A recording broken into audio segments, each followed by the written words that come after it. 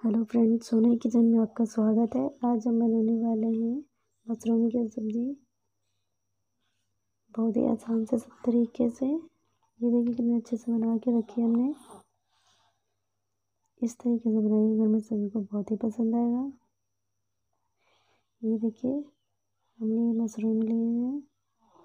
इनको अच्छे से हमने दो से तीन पानी में वॉश करके हम इसको काट लेंगे। ये हमने लहसुन लिया है थोड़ा सा।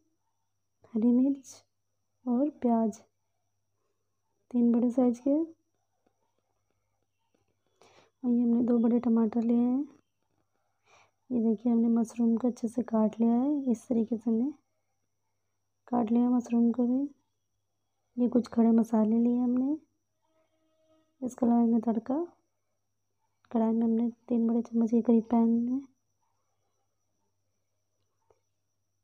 तीन तेज पत्ते। और दो हरी मिर्च साथ ही डाल देंगे हम लहसुन। इन सबको कर लेंगे अच्छे से मिक्स मिक्स कर मिक्स कर देंगे इसे एक मिनट के लिए पकाएँगे। साथ ही डाल देंगे हमने हरी मिर्च इसको भी साथ ही पका लेंगे कलर चेंज होने तक। ये देखिए इसका कलर चेंज हो चुका था। अब इसमें हम डाल देंगे प्याज प्याज को भी हम हल्का गोल्डन ब्राउन होने तक पकाएँगे।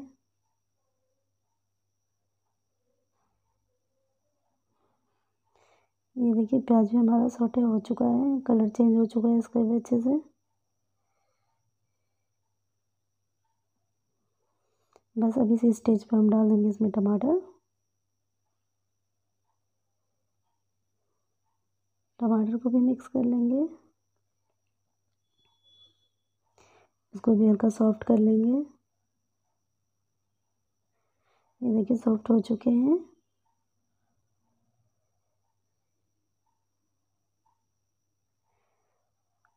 अब इसमें हम कुछ मसाले ऐड करेंगे।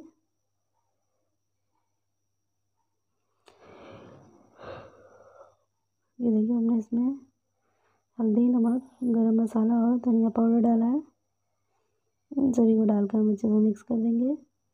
मिक्स करते हुए इसे हम गैस की फ्लेम को कर देंगे मीडियम मीडियम फ्लेम पे इसे हम तेल सेपरेट होने तक पकाएँगे। एक से डेढ़ मिनट में ये हमारे मसाले भी अच्छे से पक जाएँगे। ये देखिए कितने अच्छे से पक चुके हैं हमारे मसाले। कितना अच्छा लग रहा है देखने में ये। बस इसी स्टेज पे हम इसमें मशरूम ऐड कर देंगे। सभी कर लेंगे अच्छे से मिक्स मशरूम को भी इसे मिक्स करते हुए इसे हम एक से दो मिनट के लिए पकाएँगे।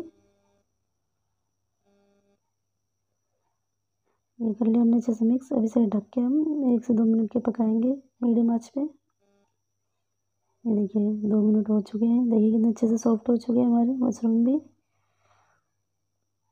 तेल देखिए कितने अच्छे से सेपरेट हो चुका है इसका। तेल छोड़ दिया इसने। मसालों से?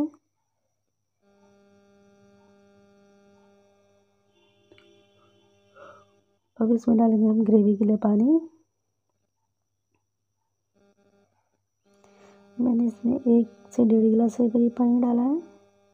आप अपने ग्रेवी के हिसाब से पानी डालें।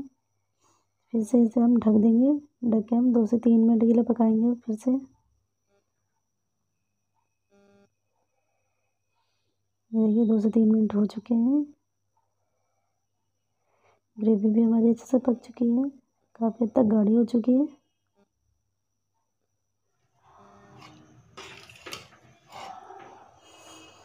गैस की फ्लेम को हमें मीडियम ही रखना था। मीडियम आँच पे पकाइए, बहुत ही अच्छे से पक के तैयार हो जाएगी ये। ये देखिए, कितने अच्छे से पक गई है हमारी। इस तरीके से बनाइए, घर में सभी को बहुत पसंद आएगी। चलिए